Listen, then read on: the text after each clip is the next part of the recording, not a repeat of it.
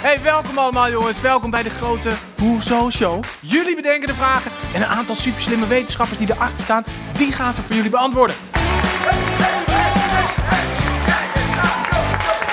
Dus dit is wat we gaan doen. Ik ga zo direct zes vragen uit het publiek ophalen.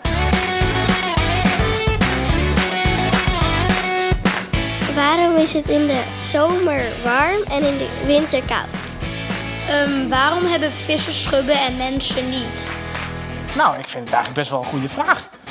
Los dat maar eens op, eh, wetenschappers. En wanneer je dus meer naar de zon staat, in de zomer is dat het geval voor het noorden, dan ontvang je veel meer warmte dan aan de andere kant van de aarde, waar je niet in de richting van de zon staat. Kijk, en het water komt erop, maar het loopt gewoon zo er weer af. Dus hij is goed beschermd tegen het water.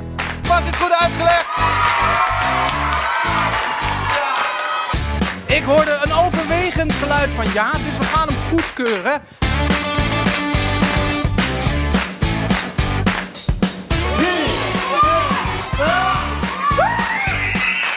Die, die informatie halen we uit stenen. Ik wist niet dat stenen zo interessant waren. Absoluut.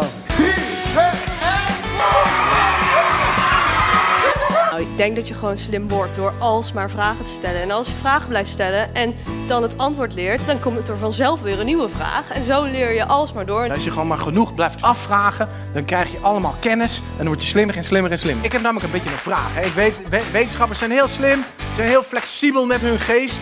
Maar zijn ze ook een beetje flexibel in de heupen?